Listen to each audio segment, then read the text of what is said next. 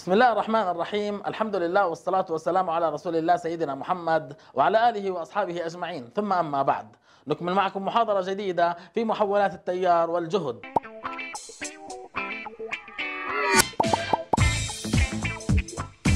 ال winding resistance test وهو اختبار قياس مقاومة ال winding لل VT ومن المعلوم أن ال VT يحتوي على two winding primary winding و secondary winding ويتم اختبار ال winding resistance لل primary بشكل بسيط جدا من خلال ال multimeter ونقوم بقياس ال secondary winding resistance من خلال حقن تيار DC على ال winding نفسها.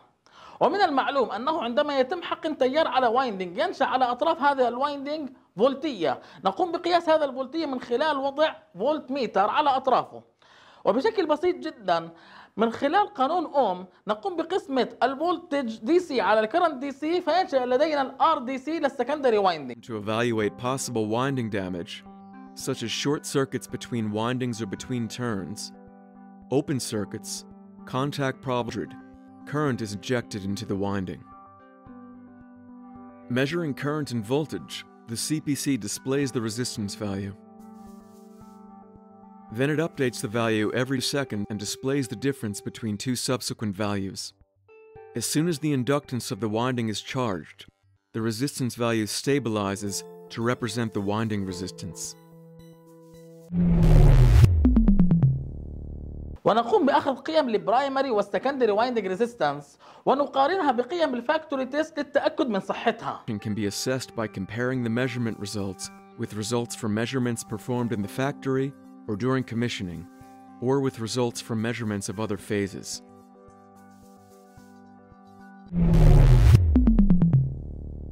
ولأن قيمة المقاومة تعتمد بشكل كبير جدا على درجة الحرارة فسوف نجد اختلاف مؤكد بين قيم ال factory وقيم ال site. ولحل هذه المشكلة اتفق العلماء أن يتم الرجوع إلى درجة حرارة مرجعية غير موجودة على وجه الأرض وهي درجة حرارة 75 درجة سلسيوس فعندما نقوم بعملية قياس ال primary وال secondary winding resistance نقوم بتحويل هذه القيم من درجة حرارة المحيط إلى درجة حرارة ال 75 درجة سلسيوس من خلال هذه المعادلة.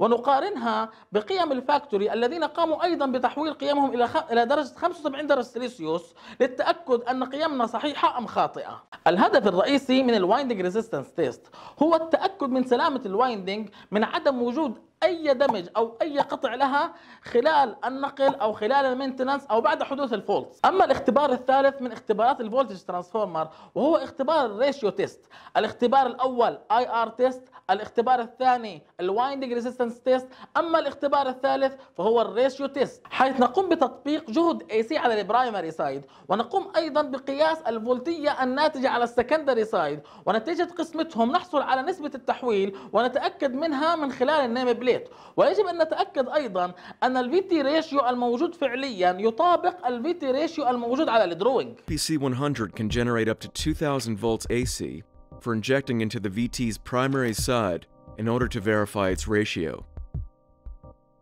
During the ratio measurement, the CPC also checks the VT's polarity by measuring the signal phase angles on both sides. On the primary side, by measuring the high voltage output signal, and on the secondary side, by measuring the signal of the voltage measurement input.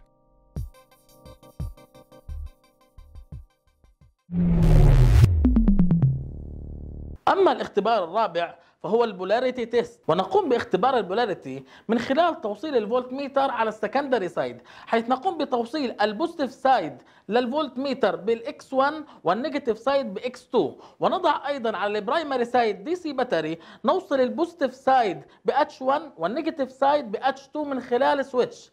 فعندما نقوم بالضغط على هذا ال switch فإذا تحرك المؤشر على ال secondary بالاتجاه الموجب في حال كان analog أو أصبحت قيمة ال voltage DC positive فهذا يعني ان القطبية سليمة. وبعد التأكد من قيم ال IR test وال winding resistance test وال ratio test وال polarity test يجب أن نتأكد بأن جميع ال wires الخارجة من ال VT إلى جميع ال panels وصلت بالشكل الصحيح. فيتم اختبار ال VT secondary injection ويتم عمل اختبار ال VT secondary injection من خلال تطبيق جهد 3 phase على ال secondary side لل VT والتأكد من هذه القيم حتى آخر نقطة. ويفضل أن تكون هذه القيم الثلاث هي قيم مختلفة للتأكد بأن ال red وصل إلى ال red وال yellow وصل إلى ال yellow وال blue وصل إلى ال blue ولا يوجد خلط بينهما. الآن قمنا بالتأكد بأن ال VT سليم وبأن ال secondary side حتى آخر نقطة سليمة. بقي لنا أن نتأكد بأن ال primary side لل VT أيضا سليم.